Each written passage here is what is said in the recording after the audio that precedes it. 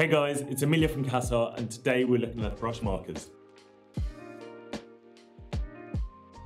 As the name suggests, brush markers give you the dexterity of a brush in a pen format. Watercolour markers are mixable and blend nicely when applied to with a wet brush. Some, such as Winsor & Newton watercolour markers, have a bullet tip at one end and a brush at the other. Ecoline brush pens can be used in tandem with their inks to create nice colour transitions.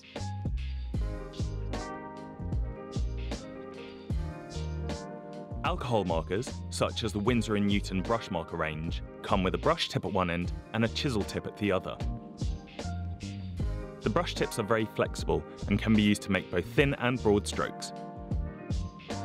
As they're waterproof, alcohol markers have a specific pen for blending.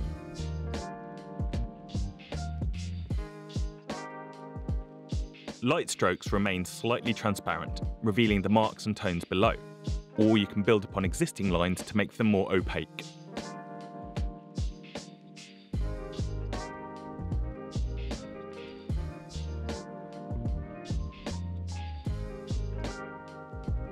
If you're feeling inspired, check out the Cass Art blog or come visit us in store.